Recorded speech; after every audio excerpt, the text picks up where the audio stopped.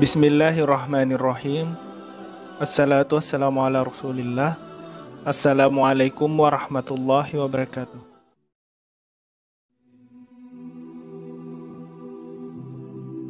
Abu Jahal adalah salah satu pemimpin kaum Quraisy dan masih memiliki hubungan kerabat dengan Nabi Shallallahu Alaihi Wasallam. Namun, bukan mendukung dakwah beliau, Abu Jahal justru menjadi musuh Nabi Shallallahu Alaihi Wasallam. Hal ini didasari karena iri dan dengki kepada Nabi Shallallahu Alaihi Wasallam. Karena bencinya kepada Nabi Shallallahu Alaihi Wasallam dan kaum Muslimin, sehingga Nabi Shallallahu Alaihi Wasallam menjuluki Abu Jahal sebagai Fir'aunnya umat Islam. Dikutip dari era Muslim, Abdurrahman bin Auf radhiyallahu anhu yang sedang berhadapan dengan tentara Quraisy tiba-tiba didatangi oleh dua orang pemuda, yaitu Muas bin Amr al-Jamu, 14 tahun, dan Muawiz bin Afro berumur 13 tahun. Dalam kondisi pertempuran, Abdurrahman bin Auf berteriak kepada dua pemuda itu, Wahai nak, kamu masih terlalu muda, sebaiknya engkau menjauh dari tempat ini. Muas menjawab, kami mendapat izin dari ibu dan ayah kami untuk menyertai Rasulullah Shallallahu Alaihi Wasallam. Kemudian Muawis berkata, saya datang ke sini hanya untuk membunuh Abu Jahal. Tunjukkan di mana dia.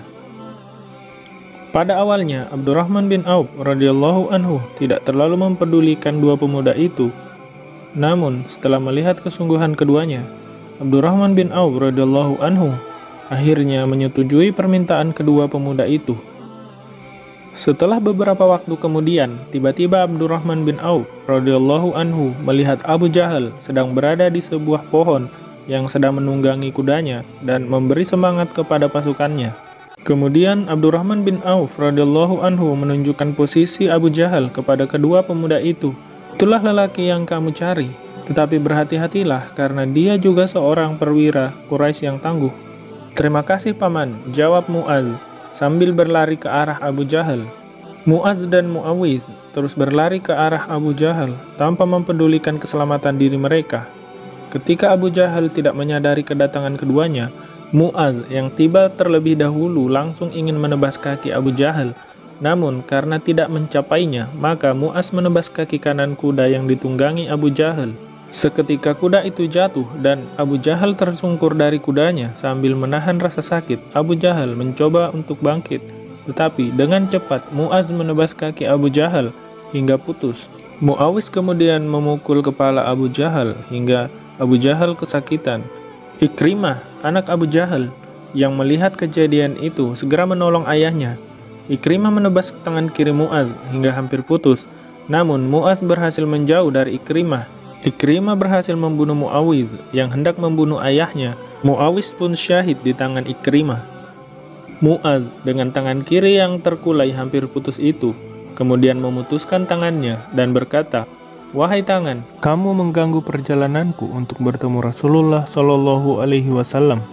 Muaz kemudian bertemu dengan Rasulullah Shallallahu Alaihi Wasallam dan mengabarkan bahwa mereka berdua berhasil membuat Abu Jahal terluka parah. Kemudian menunjukkan posisi Abu Jahal.